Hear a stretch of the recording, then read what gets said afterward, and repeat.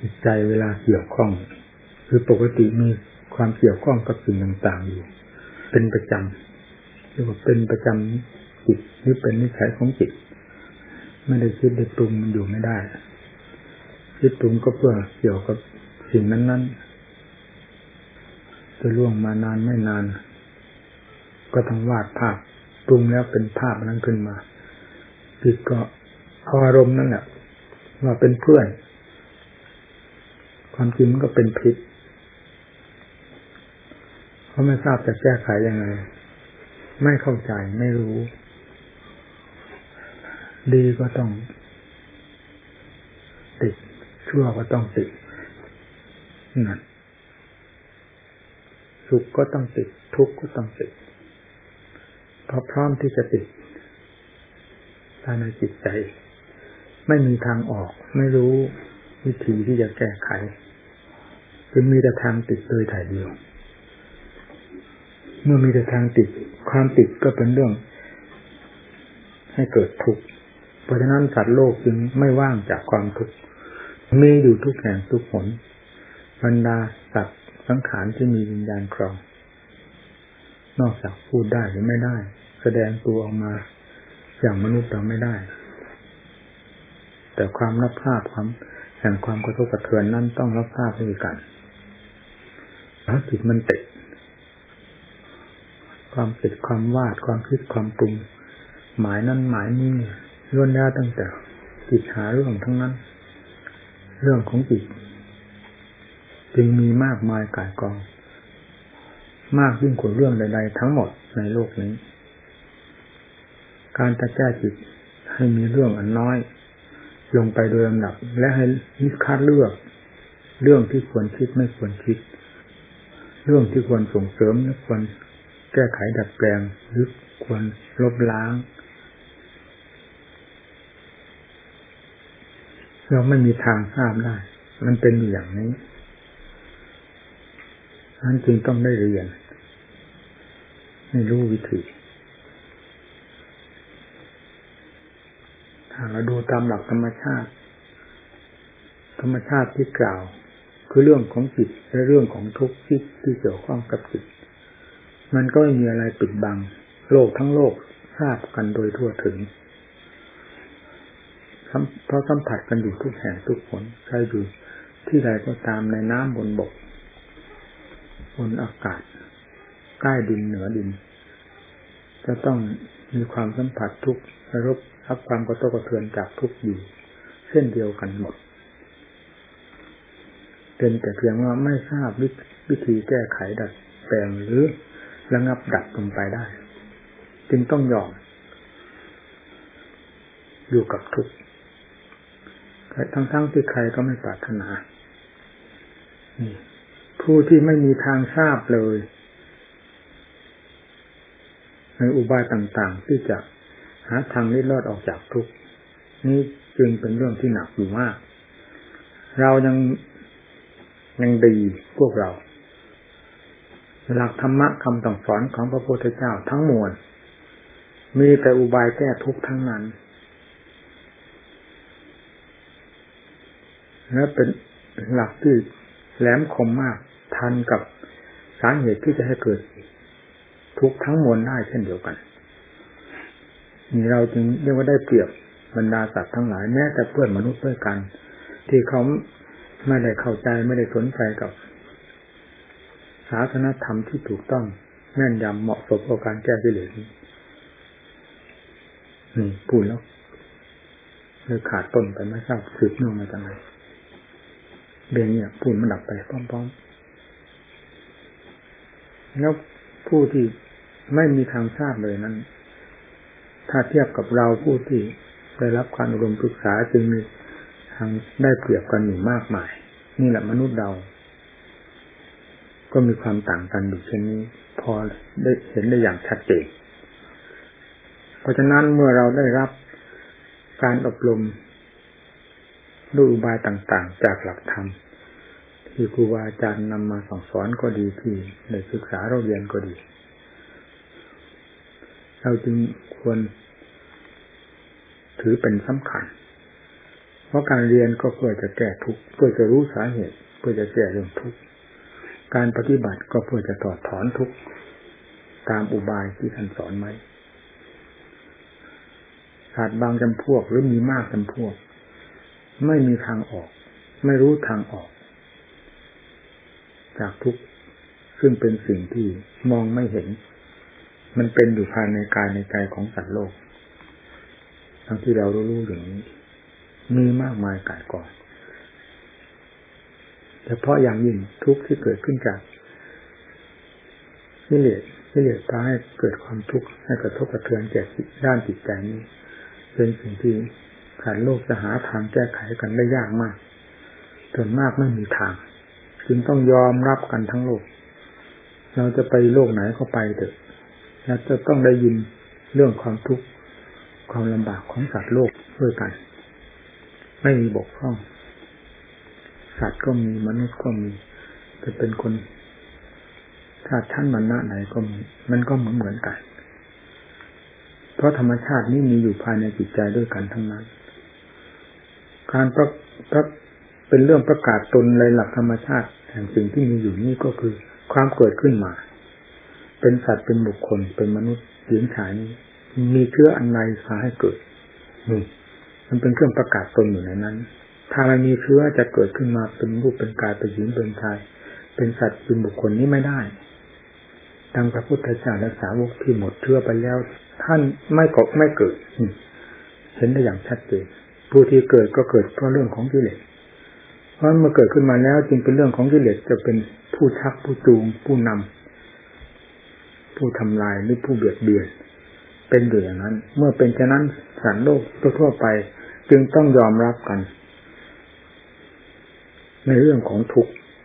เพราะกิเลสมีอยู่ภายในจิตใจ ต้องผิดขึ้นมาเรื่อยๆเรื่องความทุกข์ความทรมานทางด้านจิตใจ จึงมีอยู่เรื่อยๆหาทางสิ้นสุดยุติไม่ได้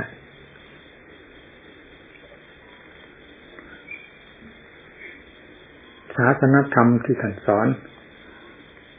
นี่เป็นความถูกต้องที่สุด ที่จะแก้จุดนี้ได้ มีศาสนธรรมธรรมนี้เท่านั้นเมื่อเราเทียบกับสัตว์โลกทั่วไป เรื่องของพระพุทธเจ้ากับสัตว์โลกทั่วไป และอุบายของพระพุทธเจ้ากับอุบายของโลกที่แก้ทุกนี้ เราจะเห็นได้ว่าผิดกันคนละโลกเลยจ้ะยังไม่มีใครที่จะมาคิดค้นขึ้นเดินลำพังตนเองและแก้ทุกข์ให้ผ่านพ้นไปได้โดยไม่ ต้องศึกษากับครูกับอาจารย์ ก็มีแต่สยามภูคือผู้รู้เองได้แก่พระพุทธเจ้า และพระพุทธเจ้าพระพุทธเจ้าเท่านั้น แล้วยังไงก็ตามอย่างผู้ที่ได้ศึกษามันก็ยังดีเพราะศึกษาในแนวทางที่ถูกแล้วปฏิบัติตนพ้นไปได้โดยลำดับนี่แหละท่านว่ากองทุกกองทุกที่ว่าสัจธรรม ท่านว่ากระเทือนโลกอยู่นั้นนะเราพอจะทราบได้หรือไม่ ว่ากระเทือนอย่างนั้นจริงจริงไหมจะไม่กระเทือนยังไงสัตว์ทุกตัวมีทุกกันทั้งนั้น ประกาศอยู่ในกังวานอยู่ภายในกายภายในจิตของสัตว์โลกด้วยกัน ไม่ว่าจะเป็นสัตว์ชนิดใดแม้แต่อินทรมก็ไม่เว้น ถ้ากิเลสยังมีอยู่นั้น ก็ต้องประกาศตนมากน้อยตามส่วนของกิเลสที่มีอยู่เช่นเดียวกันกิเลสมีอยู่ในสถานที่ใดกองทุกจะมีอยู่ในสถานที่นั้น และสัจธรรมคือทุกขสัจเรายกทุกขสัจขึ้น เป็นข้อแรกประกาศผลของกิเลสอย่างโดยอย่างตรงๆทีเดียวประกาศกลางวันอยู่ทั้งกลางวันกลางคืนไม่รู้เลยไม่เห็นเลยท่านพูดอย่างถูกต้องเลย มันประกาศอยู่กับสัตว์กับบุคคลทั่วไปโกนุฮาโซจิมานันโดนิจังปัจเจปัจเจเปสติ อันทกาโอเลนะโอนัตถาปฏิปังนังเวสถะอันนี้อย่างที่พูดพิศลาวันนั้นพูดเอาเนื้อความให้เต็มเม็ดเต็มหน่วยตรงตามความจริง และจุดที่หมายก็คือ ก็เมื่อโลกสันนิวาสนี้ร้อนไปด้วยเพลิงของกิเลสเผาผลาญอยู่ตลอดเวลาพวกท่านทั้งหลายเพลิดเพลินกันไปหาอะไรนะทำไมจึงไม่แสวงหาที่พึ่งหลักเนี่ย โกนุห้าโซนก็หมายถึงว่าหัวเราะรื่นเริงมันถึงนิจังปัจเจเจสติหนึ่งหมายถึงว่าไฟวิเลตัณหาใช่ไหมมันเผาผลาญอยู่ตลอดเวลาทำไมจึงมีใจจิตใจใจเพลิดเพลินรื่นเริงอยู่ โดยไม่รู้สึกตัว ปฏิปังปฏิปังนักเวสสัตจึงอันธการเลนะโอนาถาคือความมืดบอด มันครอบจิตตลอดเวลาฟ้าจะสว่างตะวันจะกี่ดวงก็ตาม ความมืดของจิตตะวันไม่สามารถที่จะส่องเข้าไปถึง นั่นแหละตัวมืดด้วยอำนาจของกิเลสมันปิดได้อย่างนั้น เมื่อมันครอบงำจนมิดอยู่เช่นนี้ทำไมจึงต้องรื่นเริงกันอยู่ล่ะ ไม่แสวงหาที่พึ่งนาน นี่แหละเป็นพระโอวาทของพระพุทธเจ้า เป็นพุทธภาษิต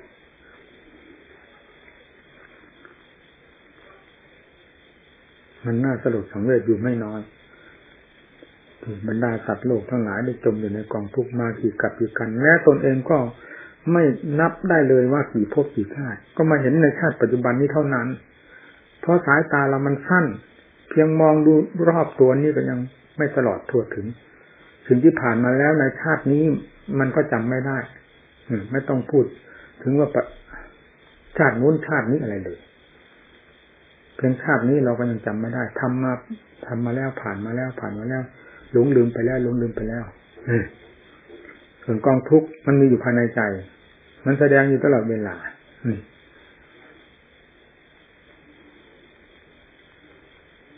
นั้นเราจะไปสามารถทราบได้ยังไงในภพในชาติ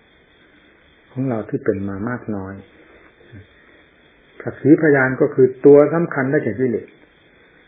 ที่เป็นเชื้อให้เกิดอยู่ตลอดเวลาทุกภพทุกชาติล้วนแล้วตั้งแต่เป็นไปเพราะกิเลสเป็นเชื้อนี้เท่านั้น นี้เป็นเครื่องยืนยันว่าเราต้องเกิดคือเราต้องเคยเกิดมาแล้ว เช่นเดียวกับชาติปัจจุบันนี้ เพราะอะไรเป็นสาเหตุให้เกิด เพราะกิเลสตัวให้เกิด มันมีอยู่ภายในจิตใจนี่นี่เป็นเครื่องยืนยันภพชาติของตนจะนับได้หรือไม่ได้ก็ตามว่ากี่ภพกี่ชาติที่เคยเป็นมา มันบอกอยู่ภายในนี้ ถ้าลบล้างตัวนี้ไม่ได้เมื่อไหร่ ต้องเป็นนักเกิดนักตายอยู่เช่นนี้ตลอดไปคำว่านักนี่มันไม่ใช่นักเกิดนักตาย มันก็เป็นนักแบกหามของทุกข์ซึ่งตามมาด้วยความเกิด นั่นเอง แล้วก็ผลิตกิเลสขึ้นมาเรื่อยๆแล้วแดนแห่งความพ้นทุกข์อยู่ที่ไหน เมื่อมีแต่กิเลสเป็นเจ้าเรือนเป็นผู้บงการอยู่ภายในจิตใจ มันก็มีแต่เรื่องกองทุกข์ที่มันผิดขึ้นมาให้เรานั่นเองนี่แหละแต่ละบุคคลบุคคล มีเต็มตัวนี้ท่านว่าทุกประกาศกลางวานอยู่ทั่วโลกดินแดนในใจโลกธาตุนี้เต็มไปด้วยทุกเต็มไปด้วยสัจธรรมนั่นสัจธรรมคือทุกขศาสตร์ก็เป็นสัจธรรมข้อหนึ่ง สมุทัยศาสตร์ก็ได้แต่ตัวพิเลสที่เป็นตัวบงการเป็นตัวผิดทุกข์ขึ้นมา ให้สัตว์ทั้งหลายเลยรับความทุกข์ความทรมาน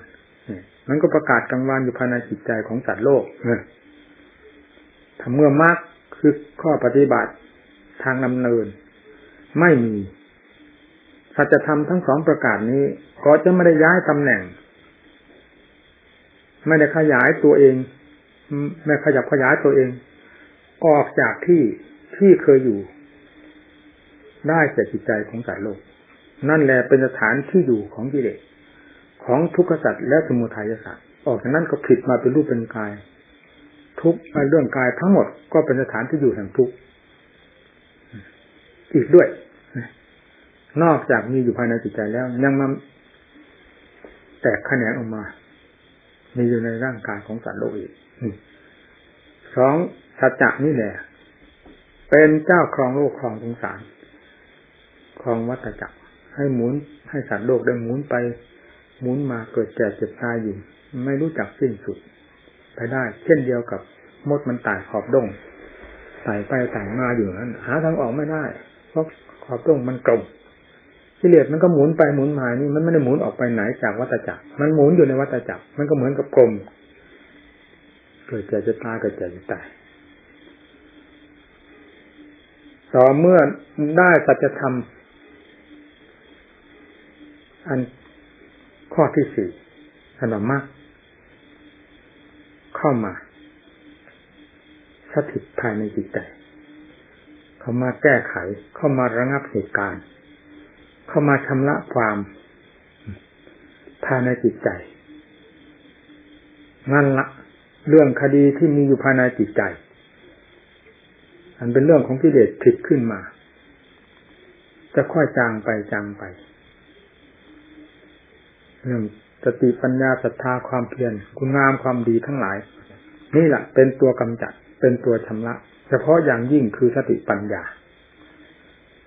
เข้ามาทำงานอยู่ในที่นี้กิเลสก็เริ่มขยับขยายไปโดยลำดับลำดับเมื่อสติปัญญามีความสามารถแก่กล้ามากน้อยเพียงไรกิเลสก็จะค่อยขยายตัวออกไปจางไปจางไปจางไปมากน้อยเพียงนั้น นี่เรียกว่ามรรคสัตว์ ทำหน้าที่วิชำระอธิกรณ์ทำลายวัตจักรซึ่งมีอยู่ภายในจิตของสัตว์ทำทำลายหม้อนรก ที่มีอยู่ภายในจิตใจของสัตว์โลกให้แตกเป็นชิ้นเป็นอันโดยลำดับจนกระทั่งทำลายได้โดยไม่มีอะไรเหลืออยู่ภายในจิตใจ ใจก็เป็นใจที่บริสุทธิ์ เป็นวิมุตติปณิพานดุดพ้นแล้ว จากความเป็นนักโทษในห้องขังคือวัตจักร ได้แก่ความเกิดแก่เจ็บตายมุนเวียนเปลี่ยนแปลงไปในเรือนจำคือวัฏจักร เจ้าผู้รับกองทุกข์คือนักโทษก็ได้แก่ตัวของเรา ได้แก่จิตของเรา เนี่ยสัจธรรมคือมรรคสัตว์นี้เป็นเครื่องทำลายนิโรธสัตว์นั้นก็คือความดับทุกข์ไปโดยลำดับดับ อันเป็นผลมาจากมรรคที่มีกำลังมากน้อย นั่นเอง ทั้งสามสี่อย่างนี้ทำหน้าที่เกี่ยวโยงกันอยู่เสมอ เช่นอย่างมรรคศาสตร์ก็มาทำงานอยู่ภายในจิตใจกิเลสก็ทำงานอยู่ภายในจิตใจชำระกิเลสไปได้มากน้อยกว่านั้นอำนาจของมรรคศาสตร์และนิโรธคือความดับทุกข์ก็ดับไปตามลำดับแห่งกิเลสที่ดับไปมากน้อยจนกระทั่งมรรคศาสตร์มีความสามารถเต็มที่กำจัดสมุทัยศาสตร์ ให้หมดไปจากใจโดยสิ้นเชิง นิโรธคือความดับทุกข์ก็ดับอย่างสนิทไม่มีสิ่งใดเหลือ ผู้นี้แลเป็นผู้พ้นแล้วจากห้องขังคือความเกิดแก่เจ็บตายในวัฏฏะสงสารนี้อุบายวิธีที่จะให้หลุดพ้น จากวัฏจักรนี้ ก็คือศาสนธรรมมีมรรคแปดเป็นสำคัญ ถ้า นอกเหนือไปจากมรรคแปดนี้แล้ว ไม่มีอันใดที่จะรับรองว่าผู้นั้นจะพ้นทุกข์ไปได้ ด้วยลำพังความคิดเดาของตนเอง หรือด้วยความอยากของตนเองเท่านั้น สิ่งที่รับรองก็คือสัจจะก็คือมรรคสัตว์สรุปแล้วก็คือคุณงามความดีทั้งหลาย มีมรรคสัตว์เป็นสำคัญ ได้แก่ปัญญาสติเนี่ยเป็นเครื่องทำลายกิเลส เป็นเครื่องทำลายวัฏจักร เรื่องความเกิดตายที่จะเป็นไป ในการต่อไปนั้น บอกกันได้ชัดๆภายในจิต ว่าหมดเชื่อแล้วอย่างนักษัตริย์ได้ทำลายตัวกงจักรหรือตัวเชื้อนี้ออกไปมากน้อยเพียงไรถ้าทำลายไปโดยสิ้นเชิงความเกิดอีกต่อไปก็หมด โดยไม่มีอะไรเหลือ นี่เป็นเครื่องยืนยันอยู่ภายในจิต ของสัตว์โลกด้วยกัน และเป็นเครื่องยืนยันอยู่กับมรรคคือข้อปฏิบัติได้แก่สติปัญญา เป็นผู้ที่จะตัดสินสิ่งเหล่านี้ลงได้เรื่องกิเลสนี้ลงได้เมื่อกิเลสละเอียดหยาบเพียงไรได้หมดไปจากใจแล้ว นั่นแหละคือการตัดสินวัตจักรได้พ้นโทษไปแล้วโดยสิ้นเชิง ผู้นั้นจะไม่มาตกหลุมตกตกเหวตกบ่อคือความเกิดแก่เจ็บตายรับความทุกข์ความลำบากเหมือนอย่างจัดโลกทั้งหลายที่เป็นอยู่เวลานี้ และกับตัวเองซึ่งเคยเป็นเช่นเดียวกันนั้น ก็เป็นอันว่าผ่านพ้นไปแล้วพญามัจจุราชมันจะมาเอาก็ได้แต่กากเมือง ได้แก่ร่างกายนี้อ้าวเจ็บนั้นปวดนี้พระพุทธเจ้าก็เจ็บบรรดาธาตุขันไม่ว่าขาดขันของใครแม้แต่ผู้บริสุทธิ์ท่านก็ต้องยอมรับว่าเจ็บ แต่ท่านไม่ได้เสวยความเจ็บความทุกข์นั้น เพราะจิตใจ ท่านไม่ซึมซาบท่านจะเสวยทุกข์เช่นกับสัตว์โลกได้อย่างไร การรับทราบความกระทบกระเทือนแห่งทุกนี้ท่านรับทราบ แต่จะให้ท่านมีความเดือดร้อนวุ่นวายเช่นเดียวกับคนมีกิเลสทั่วไปนั้นเป็นไปไม่ได้ ก็รับทราบไปจนกระทั่งถึงวาระสุดท้ายของขันที่มันจะแสดงตัวเต็มที่ใน เวลานั้น คือการสลาย นี่ท่านมีด้วยกัน เราก็เป็นนักรบคนหนึ่งในสงครามคือเราเรื่องของขัน ที่เรารับผิดชอบมา เรื่องของจิตเราก็ทำความรอบคอบต่อขัน เราอย่าไปโง่กว่าขันถ้าโง่โง่กว่าขัน เราก็ยอมแบกทุกข์ที่มันเกิดขึ้นภายในขัน โดยที่ขันเขาไม่ มีความหมายเขาไม่ทราบเลยว่าเขาเป็นทุกข์เป็นร้อนอะไร นอกจากจิตผู้ที่โง่เขานี้เท่านั้นจะเป็นผู้ไปรับความทุกข์ซึ่งเกิดขึ้นภายในขัน โดยหาประโยชน์อะไรไม่ได้ นอกจากความกระทบกระเทือนจิตใจโดยตนโดยถ่ายเดียว ผู้ปฏิบัติธรรมจึงต้องใช้ความพินิจพิจารณา มีสติปัญญาความรอบครอบในธาตุในขัน เจ็บตรงไหนก็ให้ทราบว่าเจ็บ พอเยียวยากันได้ก็เยียวยาเมื่อเยียวยาไม่ได้ก็ปล่อยไปตาม ความจริงคือยถาภูตังยนะญาณรัตนังให้รู้เห็นตามเป็นจริงของมัน เราก็อยู่ตามเป็นจริงของเรา ก็ไม่คลาดเคล้ากัน เราก็ไม่ต้องเป็นทุกข์ขันทนไม่ไหวขันก็แตก แต่ก็แตก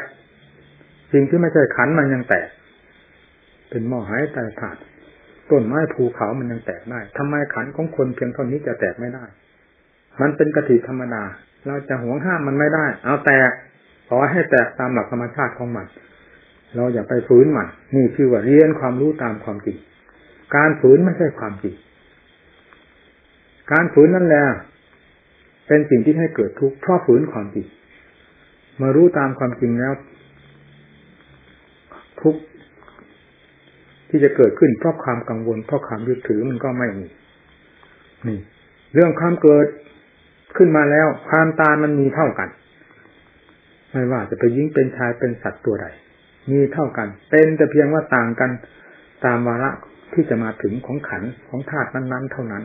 ไม่มีอะไรใครที่จะยิ่งหย่อนกว่ากันในเรื่องความตายเช่นเรานั่งอยู่ด้วยกันเวลานี้ ความตายก็เต็มตัวอยู่ในขันนี้ด้วยกันใครจะได้เปรียบเสียเปรียบกันได้ที่ตรงไหน ไม่มีใครได้เปรียบเสียเปรียบคือเรื่องความตาย ถึงการแล้วก็ต้องเป็นไปเช่นเดียวกัน เช่นผู้นี้ตายในวันนี้ วันนี้กับวันหน้ามันก็สืบเนื่องกันไปนี่ก็ไม่เห็นผิดแปลกอะไรมันก็ตายอันเดียวกันแน่เท่ากันสำคัญที่ความเฉลียวฉลาด กับความโง่นี้เท่านั้นเป็นสำคัญ อย่าให้จิตของเราโง่ต่อขัน พิจารณาให้รู้หาจะทุกข์ขนาดไหนให้ทราบว่าเรื่องของทุกข์มันมีอยู่ในขันนี้เท่านั้น และมีอยู่ในขณะที่จิตรับทราบกันนี้ เอาจิตให้รับทราบด้วยปัญญา อย่ารับทราบด้วยความโง่เขลา แล้วจะแบกทุกข์ขึ้นทั้งทางจิตขึ้นมาอีก ก็ยิ่งหนักมากยิ่งกว่าขันที่แสดงทุกข์ขึ้นมาโดย โดยลำพังตนเองมีความฉลาดขันเป็นทุกข์ก็ให้ทราบเป็นทุกข์แต่ไม่แบกความทุกข์นั้น เพราะความรู้เท่าทันกัน นี่ชื่อว่านักเรียนธรรมะนักปฏิบัติธรรมะตามความจริงแห่งสัจธรรมที่พระเจ้าทรงสั่งสอนไว้แล้วจะไม่มีการกระทบกระเทือนแก่ตนจะเป็นสุขโตรู้ก็เป็นสุขโต ถ้าขันตาไปก็เป็นสุขโต เพราะความเฉลียวฉลาดท้ายเป็นสุขโตความทุกข์นี้เป็นสนาม รบกับกิเลสไปนาให้ดี เราได้ก้าวไปแล้วสู่สงคราม ตั้งแต่วันเกิดมา แต่เราไม่ทราบว่าเป็นสงคราม เพราะเราไม่เคยต่อสู้ ยอมให้เขา ทำลายเราตลอดมา แพ้เขาเรื่อยๆ เพราะเราไม่สู้นี่หว่าเรายอมทีนี้เราสู้ต้องเห็นชัยชนะอันจึงเรียกว่านักรบ ไม่ใช่นักหลบอะไรเกิดขึ้นมาก็หลบหลบหลบหลบหลบซ่อนเขาก็ตามตีเราเลยเอาไปหลบไปซ่อนสู้มันจนอ้าวหามลงเวที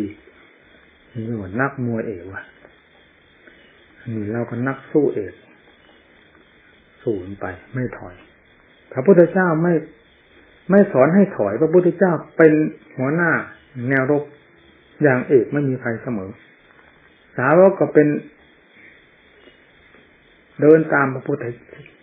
ตามเสด็จพระพุทธเจ้านี่พุทธังสังฆังสนังฉามิคือผู้กล้าหาญทานไถ่ต่อความจริงและกล้าต่อสู้ความจริง ด้วยสติปัญญา แต่ไม่กล้าวิเฉยเขาตีเอาตัวอุ้มตุ่มนั้น กล้าด้วยสติปัญญา มีเครื่องมืออันทันสมัยเราก็กล้าด้วยสติปัญญาศรัทธาความเป็นของเรา ก็ชื่อว่าเดินตามครู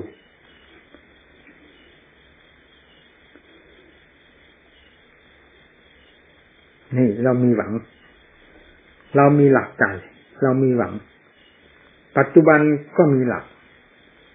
อนาคตก็คือใจนั่นแหละ จะเป็นผู้พาไป สร้างหลักให้ใจแล้วใจสุขเสียไปไหนเราไม่ต้องไปคิดถึงเรื่องนรกสวรรค์ที่ไหน นอกจากทำความดีทำความเฉลียวฉลาดอัดเข้าไปภายในจิตใจให้เพียงพอ นี่ละเป็นตัวการสำคัญ ที่จะไปพบไหนๆก็ตาม ไม่นอกเหนือไปจากจิต ตัวโง่และตัวฉลาดนี้ความเป็นสร้างความฉลาดให้จิต เมื่อ จิตมีความฉลาดแล้วอยู่ไหนก็ฉลาด ปัจจุบันนี้ก็ฉลาด